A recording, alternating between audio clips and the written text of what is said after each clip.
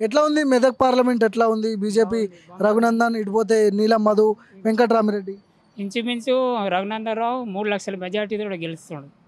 Already గెలుపు confirm అయిపోయింది. ఒక మెజార్టీ మెజార్టీ కోసమే కష్టపడుతున్నాము. ఇంచుమించు మూడు లక్షల దాకా మెజార్టీ వస్తుంది. కాంగ్రెస్ నుంచి నీలం మధు పోటీ చేస్తున్నాడు. ఎట్లా మరి? రేవంత్ రెడ్డి కాంగ్రెస్ ఆరు గ్యారంటీలు ఇవి వర్కౌట్ అవ్వవా? అవి వాళ్ళ హామీల మట్టుకే ఉన్నాయి. ఇంకా ఏమీ కాలేదు. ప్రజల్లోకి అవేమి ఇది ప్రభావం చూపెట్టదు. ఓన్లీ రఘునందన్ రావు ప్రజల్లో ఉండే మనిషి ఎప్పుడు ప్రజలతో ఉంటాడు.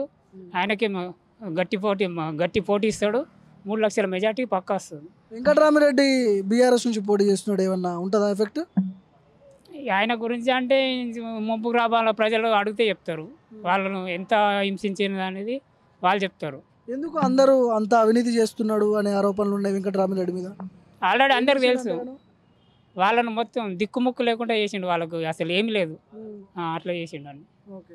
ఎవరికి వేస్తున్నావు ఓటు మరి? బీజేపీకి వేస్తాం. నేనే కాదు ప్రతి పల్లె పల్లెను పల్లె చిన్న పౌరం నుంచి పండు ముసలి దాకా మొత్తం బీజేపీ అంటుంది. మొత్తం నరేంద్ర మోడీ నినాదము మొత్తం ప్రజల్లో చిన్న పిల్లల కానికించి పండు ముసలి దాకా మోడీ నినాదము ఉంటుంది. కైసా ఇదర్ కాంగ్రెస్ బీజేపీ బీఆర్ఎస్. కాంగ్రెస్ నీలమధు పోటీకర్ర ఇదర్ बीजेपी से रघुनंदन राव है बीआरएस से वेंकटराम रेड्डी है। किसको डालते वोट? वोट तो अपना चॉइस है। अपना चॉइस है किसको भी डाल सकते हैं। हम डालेंगे हमारे देश के हित करने वाले को हमारे राम जी को लाने वाले को और जो महिलाओं के बारे में सोचेगा उसको हम वोट देंगे। जो हमारा देश को पूरा वर्ल्ड में नाम करा है उसको हम आगे लाना चाहेंगे।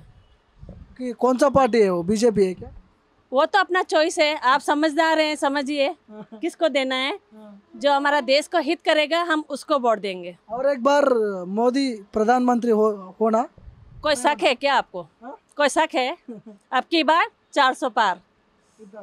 उतना क्यों मोदी आना? हमारा देश का भला होना है। हमारा देश को आगे बढ़ाना है। हमको फ्री का कुछ नहीं चाहिए।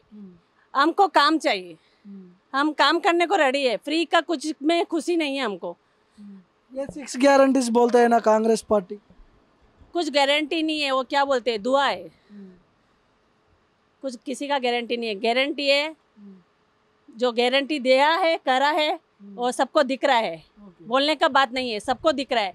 आज का जो जनता है ना उसको अपन अंधेरे में नहीं रख सकते। सब पढ़े लिखे हैं समझदार है।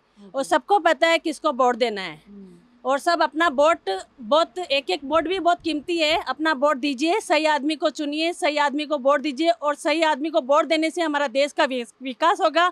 हमारे आने वाले जनरेशन को अच्छा काम मिलेगा।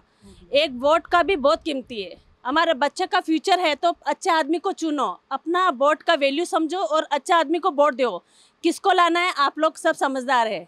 अपना देश को आगे बढ़ेगा, वर्ल्ड में नाम होगा तो देश को काम भी मिलेगा। युवाओं को भी काम मिलेगा हमारे बच्चों का फ्यूचर के लिए अच्छे आदमी को लाना जरूरी है Medak parliament BJP BRS Congress మూడు పార్టీలు పోటీ చేస్తూ ఉన్నాయి ఇక్కడ ఎట్లుంటుంది ఫైట్ ఎవరు గెలిచే అవకాశం ఉంది? మ్మ్. నీలం మద అంటే ఎవరో మాకు తెలియదు ఆయన కాంగ్రెస్ పార్టీ అభ్యర్థి నీలం మధు ఆయన ఇంతవరకు చూడలేం కాబట్టి బీజేపీకి ఓటేస్తాం రఘునందన్ రావు ఫస్ట్ ఇప్పుడు ఎం ప- మాజీ ఎమ్మెల్యే కదా ఇప్పుడు గిట్లా ఆయననే రావాలి ఎంపీ కానీ అనుకుంటున్నాం ఎవరికి వేస్తున్నావు ఓటు మరి బీజేపీకే. మోడీ ప్రధాని కావాలి అయితే మళ్ళా? కావాలి ఖచ్చితంగా.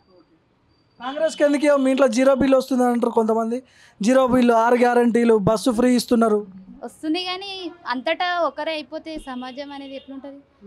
ఇది బీఆర్ఎస్ పార్టీ అయినా దోసుక తిన్నది కదా. ఇప్పుడు ఇట్లా అందరు కాంగ్రెస్ ప్రభుత్వం అయితే అందరు దోసుక తినే వాళ్ళు అవుతారు కదా. ఆపోజిట్ ఉండాలి కదా. అందుకని.